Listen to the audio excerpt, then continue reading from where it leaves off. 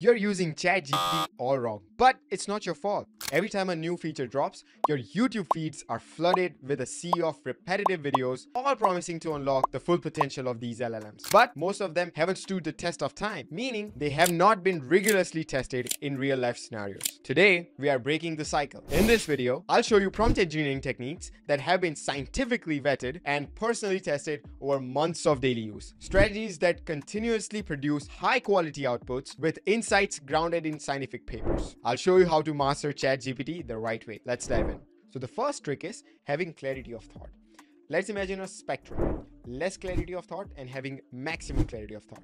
You want to be on this side of the spectrum. Let me give you an example. Here, I'm trying to ask ChatGPT to give me party ideas for a 10-year-old kid's party. But because on the phone you have dictation, meaning you can use your speech to type, sometimes you have a lot of filler words like ums and us, and that reduces the clarity of thought. And surprisingly, that affects the output of the model. So here, obviously, it gives me the ideas of what party should be, such as art and crafts play, sports day party, or outdoor adventure party theme, but it is not as good as it can be. Now, this is the same prompt, but with a high clarity. So here I'm asking, please provide a list of birthday party ideas suitable for a 10 year old child. See, immediately getting to the point. And now I have a much more richer output. Not only I have themes and activities like previously, but I also have game suggestions. And this is a really simple and easy example, but this goes all the way. If you want to create a code and you have clarity of thought in your prompts, you will get better results. But now you ask how to have that clarity of thought into your prompts? Well, I have the solution. You just ask ChatGPT for it. For example, I used the same prompt from less clarity of thought. I pasted here and I said, can you improve the clarity of thought in the following text? And there you go. That way I have much more higher clarity of thought. The second trick is to automate your workflow. ChatGPT is really good at writing code, but most people don't use that feature. For example, I find myself using Google Docs a lot. So every month I have a meeting with my manager and in that meeting, I take notes on what to improve and what are the good things that I've done, plus the next action steps for the projects that are upcoming. In order to do that, I take generally notes. But here I have created a custom menu where I just click this button. There you go, my daily one-on-one -on -one with the date up top my notes and my actionable points. All of those things are ready to go. And let's say after a week or after a month, I have another daily one-on-one -on -one with my manager. I come here, custom menu, click this button again, and there we go. I will have another page with an updated date here. You can create custom app scripts to improve your workflow, whether it is in Google Docs, Google Slides, or Microsoft PowerPoint. That way you can use the compounding effect to save your time and multiply your productivity exponentially. In order to create this script, I went to ChatGPT And I asked it to create a Google app script where it has experience of over a decade at IBM and Microsoft as a software engineer, and it has experience of creating Google App scripts. And there you go. It created a very detailed script and also gave me instructions on how I can run and save this. So I went to Google Docs, click on extension, click on app scripts, and there you go you paste this here and then you run it.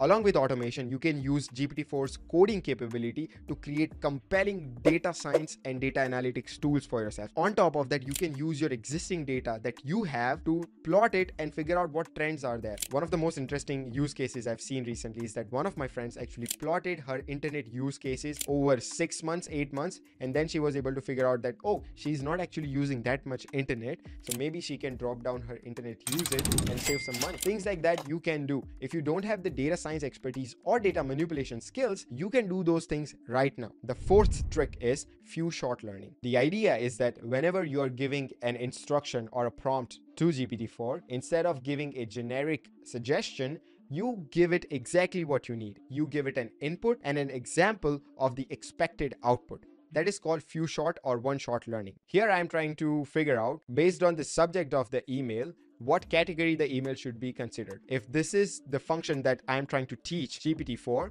I'll give a couple of examples like that. And then I'll ask that, oh, if I receive an email from the bank, what category it should go to. And it will tell you personal finance. Another example is I was trying to figure out what sports event to watch in February of 2024. So I created this specific prompt that let me know the name of the event, the country, date and time, and likelihood of me liking the event based on my preference of watching sports, feel free to make up a percentage. And it created a list of events where sports events are highly likely that I will watch and I will like. So Winter Olympics, Super Bowl, and then Dubai Tennis Championship. It considered I will not like it as much as I like the Winter Olympic sports. Maybe I have more sports to see in Winter Olympics. So that's an example of few shot learning or one shot learning. The fifth trick is to use magic words. These large language models are just next word predictors. They are predicting what next word should be there.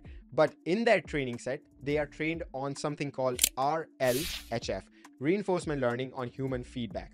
So because they are trained in a certain way, they are likely to give you a better answer if you use a specific word or a specific sets of words. So the first magic phrase is step by step. Here I have a prompt where I'm asking to create a Google script code.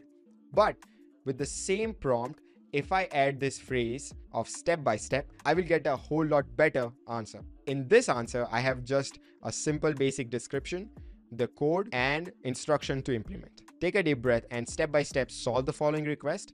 Not only it gives me the link to Google Scripts, it has a precursor to the code. The code is more documented compared to what it was able to generate previously. And after completing the code, it has more detailed instructions on how I am able to customize the code, run the script, and add more functionality that was completely missing from the previous ones. So if you use these magic words, your outputs are going to be a whole lot better. One final tip I want to give you is that be focused on what you ask. So instead of asking it to give you a whole recipe and the side effects of that recipe, just focus on one thing at a time.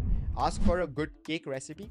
Once you figure out that recipe is good for you, then go ahead and ask for like, what are the side effects of eating sugar? That way, GPT can actually use its token length to give you more detailed and useful answer one at a time. Apart from these six tips, there are a whole lot more things for us to explore. In the next video, I will show you how to use custom instructions to get better results and a PDF that contains all of these prompts so that you can easily copy paste and save it for yourself. So if you like high quality AI content, consider subscribing. See you in the next video.